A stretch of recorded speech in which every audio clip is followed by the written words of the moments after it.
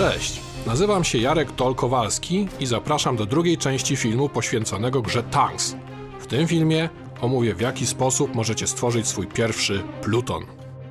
Po znalezieniu przeciwnika musicie uzgodnić ilość punktów, które możecie przeznaczyć na swój pluton. Określają one, jak dużo sprzętu będziecie mogli użyć podczas bitwy. Pomoże to także określić czas trwania gry. W kilku pierwszych grach spróbujcie używać plutonów za 40 punktów. Kiedy już poznacie dobrze zasady, zalecamy gry na poziomie 100 punktów, które będą znacznie ciekawsze taktycznie. Oczywiście możecie grać na dowolnie uzgodnione z przeciwnikiem punkty. Teraz, kiedy wiecie ile możecie wydać punktów, czas na wybieranie kart.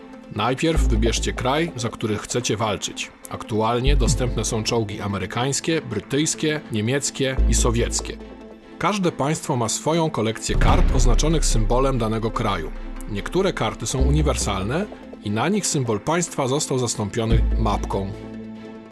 Pokażę Wam, jak złożyłem swój pluton brytyjski. W grze Tanks są dwa rodzaje kart.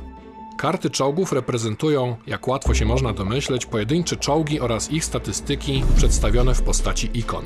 Do mojego plutonu wybrałem dwa Shermany 5, Sherman Firefly i Comet, upewniając się, że zostały mi punkty na karty ulepszeń. Karty ulepszeń mają kilka typów. Po pierwsze mamy karty załogi. Oczywiście domyślnie wszystkie czołgi mają już swoje załogi. Te karty jednak reprezentują wyjątkowo uzdolnionych lub doświadczonych żołnierzy. Na każdej karcie czołgu pokazane jest, ilu członków załogi może posiadać. Przeważnie jest ich trzech lub czterech.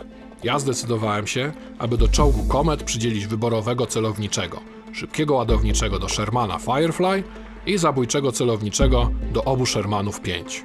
Kolejny rodzaj kart to karty bohaterów. Reprezentują oni legendarnych asów pancernych z czasów II wojny światowej. Nie można mieć więcej niż jednego danego bohatera w armii.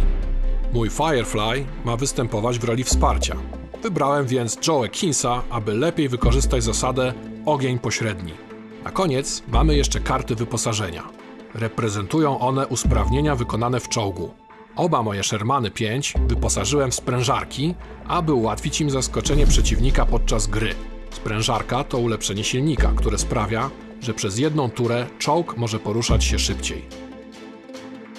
Kiedy wiesz już, co chciałbyś mieć w swoim plutonie, spójrz na koszty punktowe umieszczone na kartach przy ich nazwach. Dodawaj kolejne czołgi i ulepszenia do plutonu, podliczając punkty do momentu, kiedy zbudujesz pluton o koszcie równym lub zbliżonym do ustalonego limitu punktowego. Na zakończenie tego filmu zaprezentujemy Wam kilka przykładowych armii. Pokażemy, jak łatwo jest stworzyć przemyślany oddział, który będzie odpowiadał Twojemu stylowi gry. Mamy tu świeżo utworzoną i jeszcze niedoświadczoną kompanię radzieckich T-34. Co prawda brakuje im ulepszeń poszczególnych czołgów i bohaterów, ale braki w jakości nadrabiają ilością. 5 czołgów kosztuje nas tylko 90 punktów. Ten elitarny oddział niemiecki złożony jest z kolei z różnych czołgów. Każdy z nich jest wart dużo punktów, ponieważ posiada doświadczoną załogę i dodatkowe wyposażenie.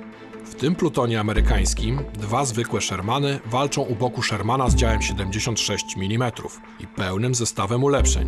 Każde miejsce członka załogi zostało obsadzone przez bohatera, co sprawia, że ten Sherman jest kluczowym elementem armii.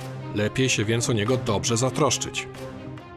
Dziękuję, że obejrzeliście ten film. Zapraszam do wsparcia naszej kampanii na Wspieram to.